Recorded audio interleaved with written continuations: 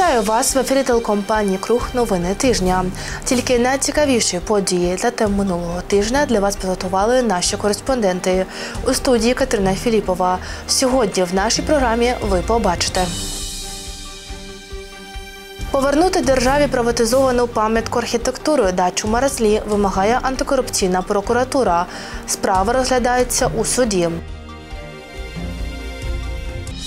Одеський клінічний санаторій Державної прикордонної служби Аркадія можливо забудують. Земельна комісія міської ради розгляне питання щодо передачі відомству земельної ділянки. Детективи НАБУ завершили досудове розслідування у справі співвласника фірми Пікстрой та депутата Одеської міськради від партії «Довіряє ділам Марини Лозовенко. Біля аеропорту встановили ще дві берлінські подушки. Дорогі дорожні перешкоди, як і раніше, не перекривають усю проїжджу частину. 20 січня в Одесі стартувала акція з висадки сосен біля навчальних закладів міста. Визнати незаконною приватизацію пам'ятника архітектури дачі Мерезлі та повернути його у державну власність вимагає антикорупційна прокуратура. Позовну заяву про розірвання договору продажу розгляне господарський суд Одеської області.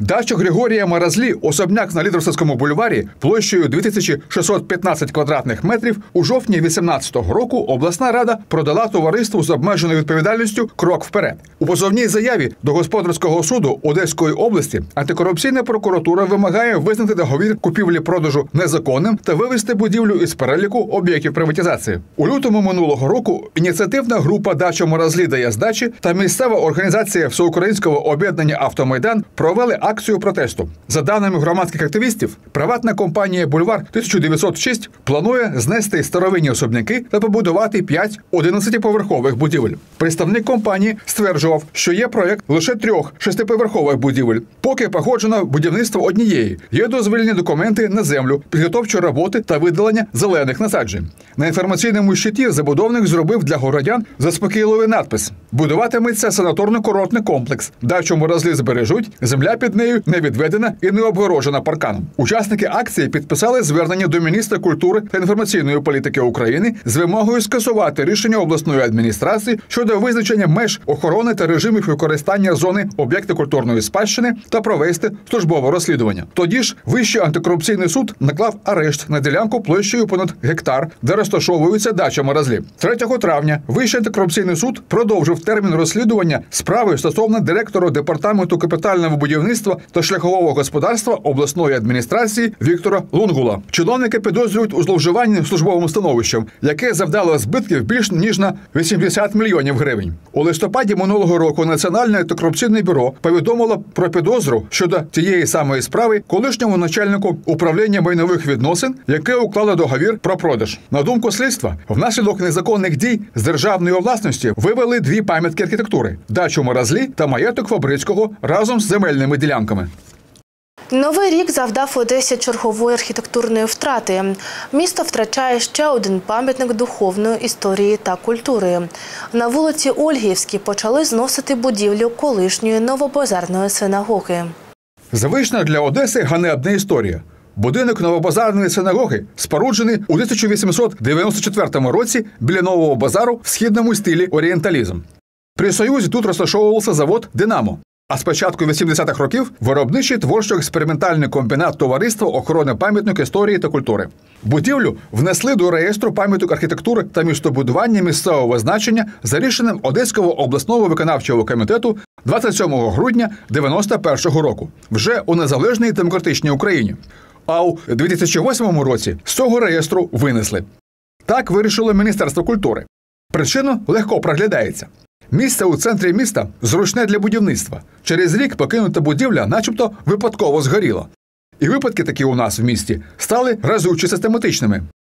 Згадаємо хоча б пожежі на колишньому певному заводі Ценценбахера і в будинку Русова.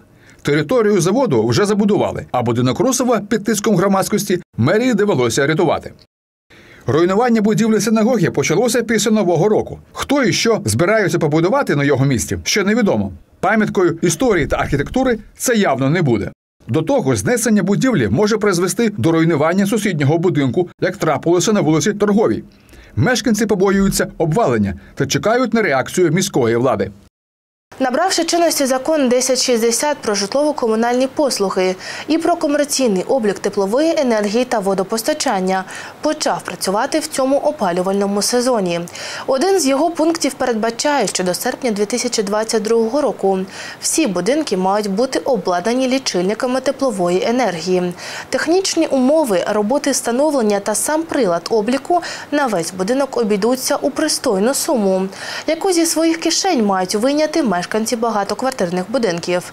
Ті, хто не виконає цих умов, будуть змушені платити величезні суми за опалення. З цією обставиною одесити вже зіткнулися, отримавши непомірні рахунки за обігрів своїх будинків. Як вирішиться ця ситуація, покаже час. Але вже зараз тепловики заявили, що перерахунку не буде. Порадив лише оформити субсидію або реструктуризувати платежі до встановлення лічильника в будинках. Перш за все, ще в 2017 році е, був прийнятий закон про комерційний облік, який передбачає, е, що абоненти повинні самостійно встановити прилади обліку загальнобудинкові е, лічильники на тепло. Більшість наших ну, містян скористалися цією нормою закону, а так а також тими програмами державними, муніципальними, які передбачали допомогу на компенсацію таких витрат на встановку е, приладів обліку. З 2017 року нами було обладнано в Одесі більш ніж 90% таких е, будинків.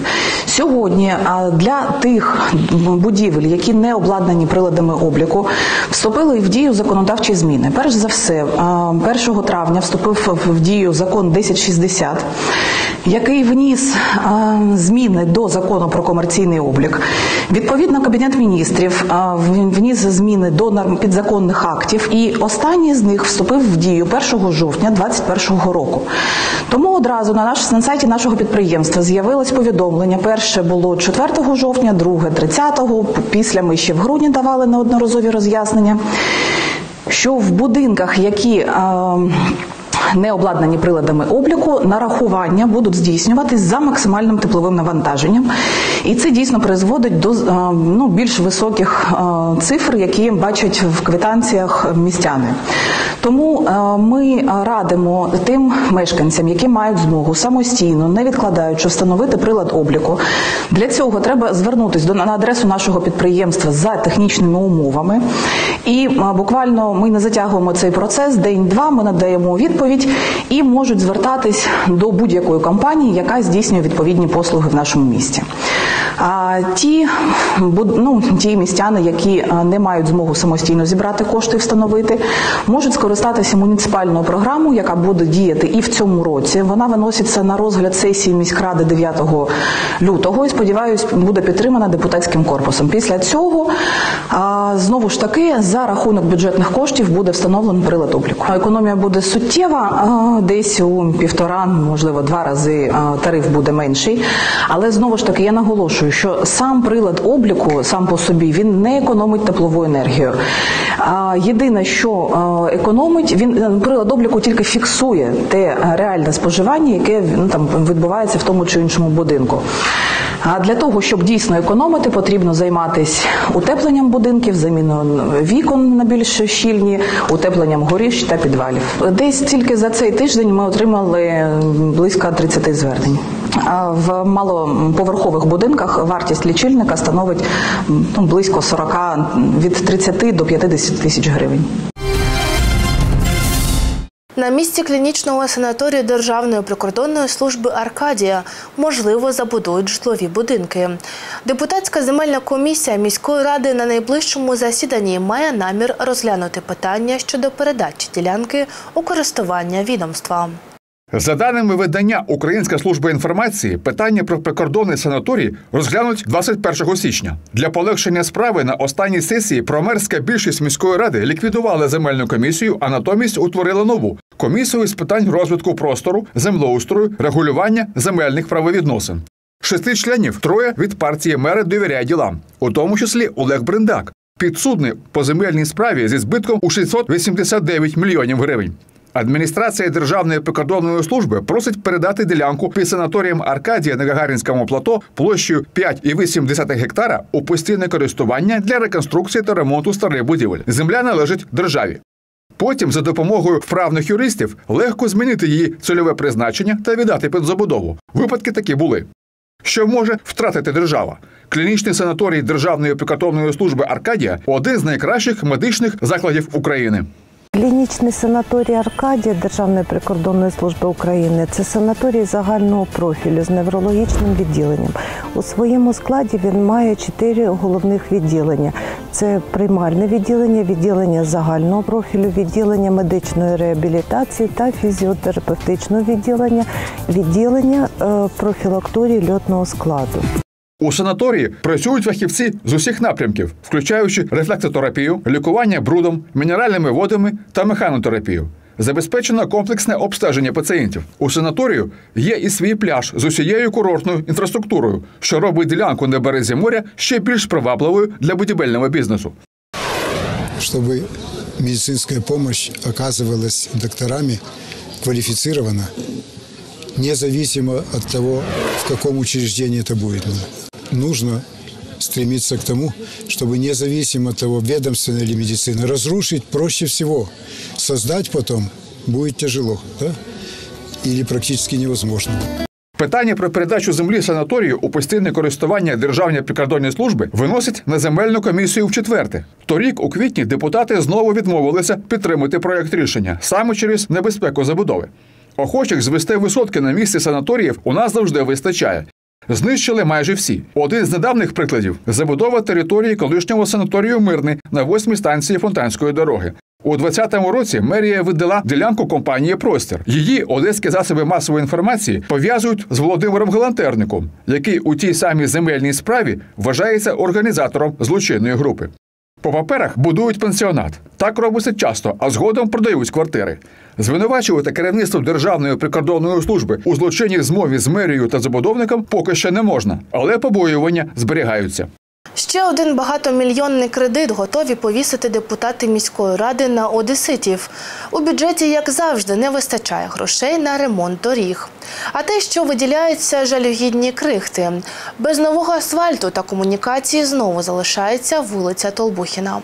Жителі вулиці Толбухіна і всі, хто колись швидко і зручно добирався нею до фонтану, роками чекають на ремонт. Частину роботи зробили кілька років тому, але це мало що дає. Вулиця залишається непроїзною. При необхідності можна якось пробратися. Дорогою таке покриття не можна назвати. На все дорожнє господарство у бюджеті року міська рада виділила 370 мільйонів гривень. За величезних обсягів ремонту це не гроші. На одну тільки вулицю Толбухіна потрібно 150 мільйонів. Навіть якщо бюджет переглянуть і щось додадуть, становище справ кардинально не зміниться. На засіданні постійної депутатської комісії з питань транспорту та шляхового господарства її голова, депутат від Європейської солідарності та колишній кандидат на посаду міського голови Петро Обухов висловився про можливість нового кредиту.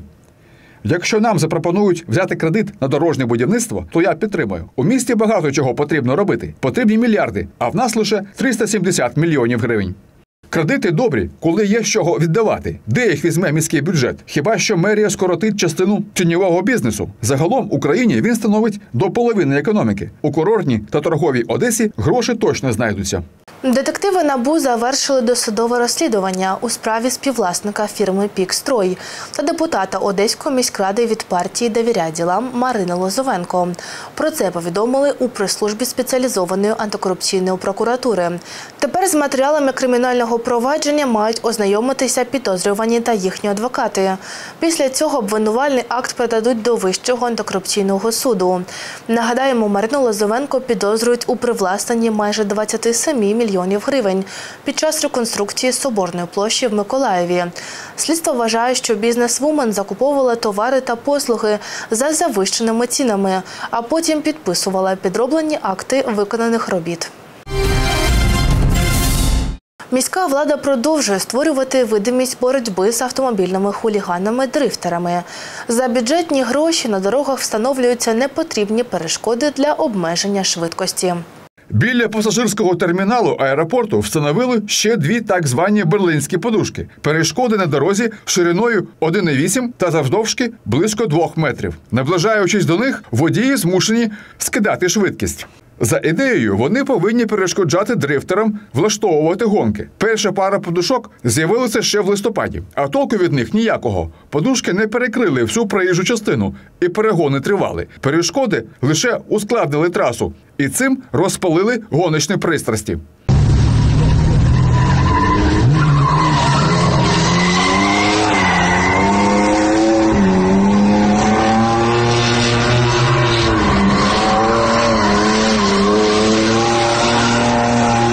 Двох нових подушок також мало. Всі разом вони досі не виконують своєї функції, а коштує кожна 30 тисяч гривень. Усього на дорогу біля аеропорту вже приклеїли 120 тисяч. Поки встановлять ще, якщо взагалі встановлять, ці можуть зноситися. Та сама картина на площі Бориса Дерев'янка. Не навчилася наша мерія робити все як належить, а гроші витрачаються із міського бюджету.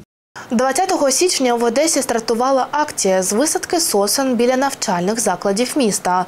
Так, фахівці комунального підприємства «Міськзелентрест» планують висадити близько 1600 вічно-зелених дерев на територіях, прилеглих до шкіл та дитячих садків у різних районах міста.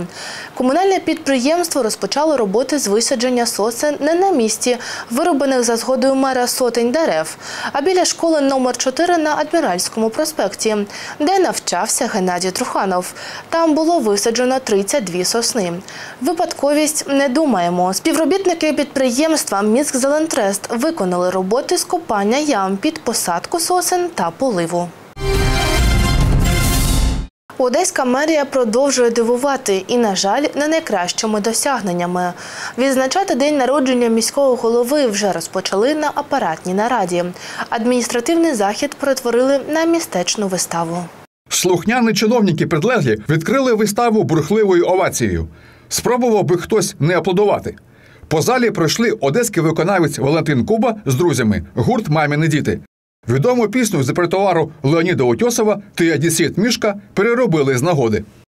Ты же одессит, Гена, а это значит, что не страшны тебе ни горе, ни беда. Ведь ты наш мэр, Гена, а это значит, он не теряет бодрость духа никогда. 17 січня Геннадію Труханову виповнилося 57 років. Привітати його могли б, як завжди, в кабінеті, і не перетворювати апаратну нараду на балаган, де не вистачало лише циган з медведем. Улюбленому меру його шанувальники вручили два одеські подарунки. Ну, чисто одеські. Друзья, зная, как Геннадий Леонидович с трепетом относится к основному головному убору одесскому, к кашкету, кепке, от всей души хочу подарить этот головной убор. Алина перед тем, как шить его, полоскала твит в Черном море. Поэтому она намоленная, пропитана Черным морем. Пускай она согревает тебя, Геннадий Леонидович, и оберегает.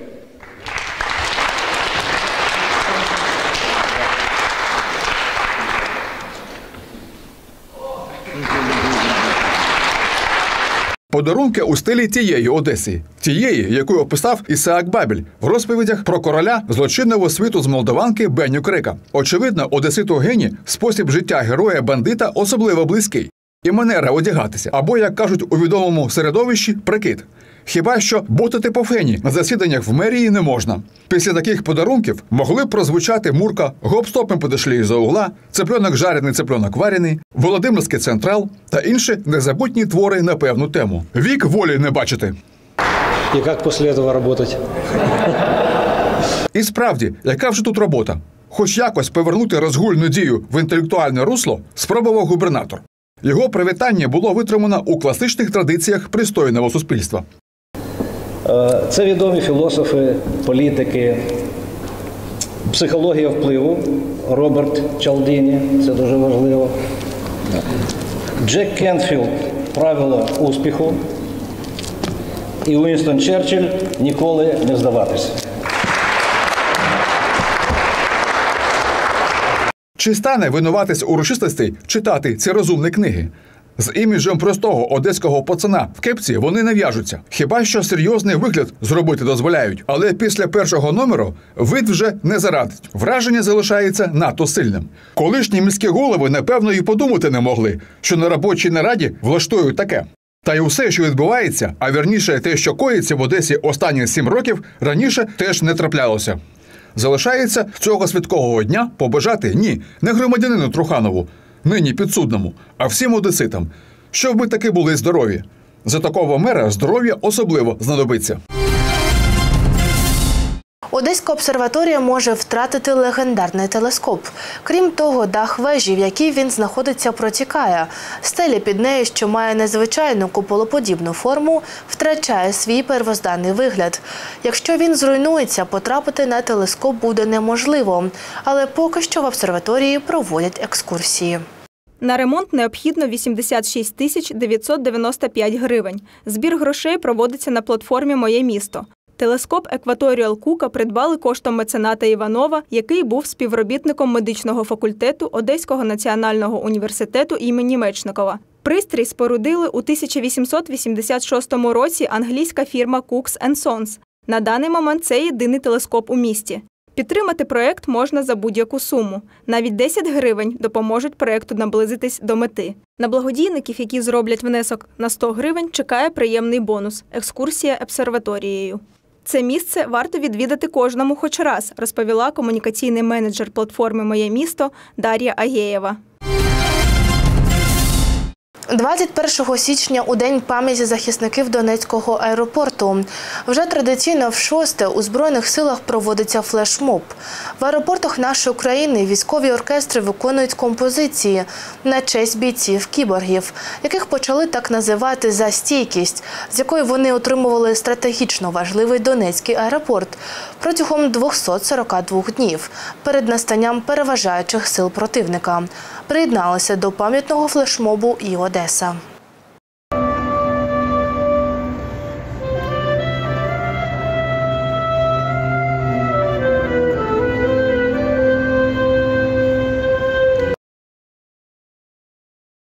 З Мухтаром на кордоні. Ця фраза стала номінальною для всіх, хто бачить службових собак, які виконують свій професійний обов'язок на кордонах країни. Служба у них складна і важлива, яка не терпить компромісів та помилок. Як то кажуть, з ними не пожартуєш, але і тут не обійтися без змагань на звання найкращого. Одеська митниця проводить віртуальний флешмоб Улюблений носик. І ця фраза вже не номінальна. Адже завдяки нюху собак, як кажуть, через кордон муха не пролетить.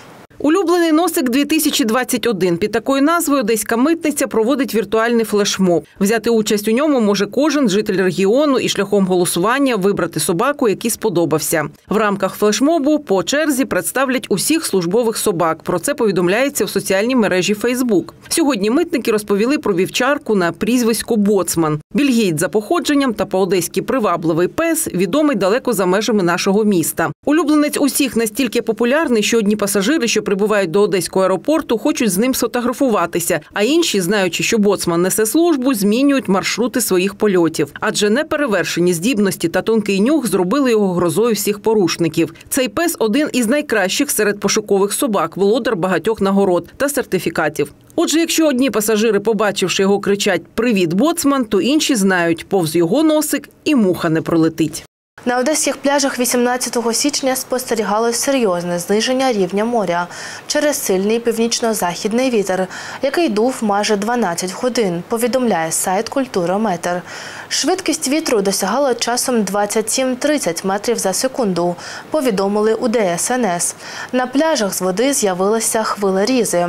Рівень моря через вітер знизився приблизно на 40 сантиметрів. Таке явище називається водозгоном. У Свято-Архангело-Михайловському Одеському жіночому монастирі відбулося урочисте відкриття виставки та нагородження переможців міжнародного конкурсу дитячої творчості Різдвяна зірка. Дитячі малюнки виконані із застосуванням різних художніх технік, розкрили таланти юних художників. Не залишила дитяча творчість байдужими і гостей виставки, присвяченої світлому святу Різдва. Міжнародний конкурс дитячої творчості Різдвяна зірка був створений для підтримки талановитих дітей, які своєю творчістю показують, наскільки прекрасним і добрим може бути цей світ. Незважаючи на юний вік учасників від 6 до 16 років, професійне журі оцінювало роботи суворо, тим самим наголошуючи на високому рівні конкурсу. Ефектні експозиції вражають як технікою виконання, так і концепцією. Ну а тема Різдва лише надихає. Она мне просто потрясает и вдохновляет каждый раз. А особенно интересно то, что э, за этой, эта тема, она не просто э, как бы вот воспринимается как чтиво, как какой-то факт, она буквально прорастает в детях. И это заметно, потому что с каждым э, годом она становится все самостоятельнее и самостоятельнее, потому она становится все более творческое решение. Потому что действительно, вот 28 лет мы делаем, кажется, тема уже исчерпана, уже и говорить нечего, вроде все уже написано, не только детьми, но и мастерами, и прежних веков, и нашим. Вот. Но я э, понимаю, ощущаю это буквально как совершенно глубинную тему, которую невозможно исчерпать, она действительно неисчерпаема. В своїх роботах юні художники зобразили не лише різдвяні сюжети і красу православних храмів, різноманітність зимової природи та улюблених домашніх вихованців. В представлених картинах багато яскравих фарб, емоцій та вражень. Перед тем, как нарисовать эту работу, я прочитала истоки, то есть э, тогда, когда рождался Иисус, и представила в голове, как это все происходило, и по моей теории это выглядело примерно так. Міжнародна виставка дитячої творчості Різдвяна зірка це подія не лише для Одеси та України, а й для міжнародного співтовариства. Учасники до неї готуються особливо ретельно. На гостей свята завжди чекає подорож у світ Різдва, прекрасного і неповторного, не лише за своєю красою, а й значимістю. Наша выставка смотрит в будущее. Это тот мир, каким его дети хотят видеть для себя, а также для своих детей, а также для будущих поколений. Этот мир должен быть гармоничным. В нем должно сиять солнце, не быть никаких войн, насилия, греха. И мы этот мир представляем всем тем, кто сможет посетить нашу уникальную выставку. Работы художников у нас представлены не только из разных уголков Одессы, Одесской области, но и Украины, а также из многих стран. Это работы детей не только православного вероисповедания, но и деток из светских семей. Есть у нас также работы детей из мусульманских сообществ и других религиозных деноминаций. Мы открыты для всех. Переможці та лауреати міжнародного конкурсу Різдвяна зірка отримали грамоти, подарунки та звичайно ж визнання. А одесити, що прийшли подивитися експозицію, змогли повною мірою насолодитися неймовірним світом творчості в усіх його проявах. Таким побачили цей тиждень наші кореспонденти. А нам залишається побажати вам гарного настрою, оптимізму і тільки добрих новин. Всього найкращого і до нових зустрічей в ефірі.